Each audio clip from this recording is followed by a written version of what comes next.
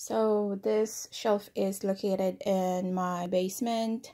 It's where my laundry area is. Uh, um, winter time is coming and I need to bring my plants in.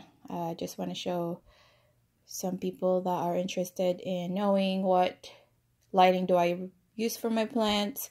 For those one that needs a uh, highlight and they don't have windows or they live in an apartment, they don't have that big windows where they can get sunlight, natural sunlight.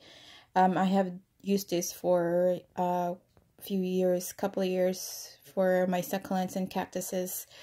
Um, and um, I have also used this for my seed starts vegetables way, way back, five, four to five years ago. Um, and it works for me.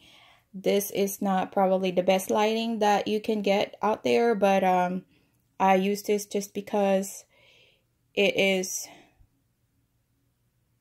what I can afford. I can it's it's not so expensive for me.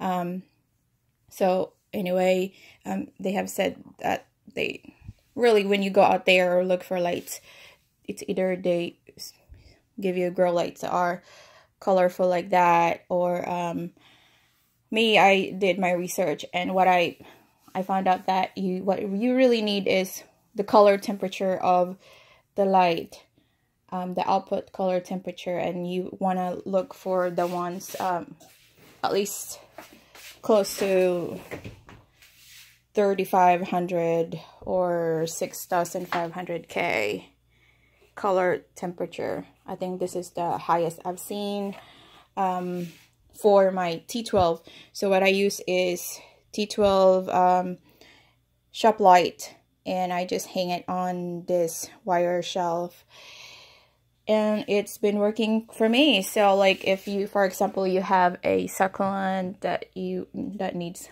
light more light um what you kind of do like just this echeveria right here. You want to kind of put it close to here like that so it doesn't stretch or etiolate mm. and it works. It works. For me this is all I need and I don't need I don't like those color ones actually, but I just use this because this um this right here is very close. I kind of so I'm I'm using this colorful light kind of like a plate. I don't like it because of the color. I want to be able to see the natural color of my succulents and my other plants. So I like my shop lights. Thanks.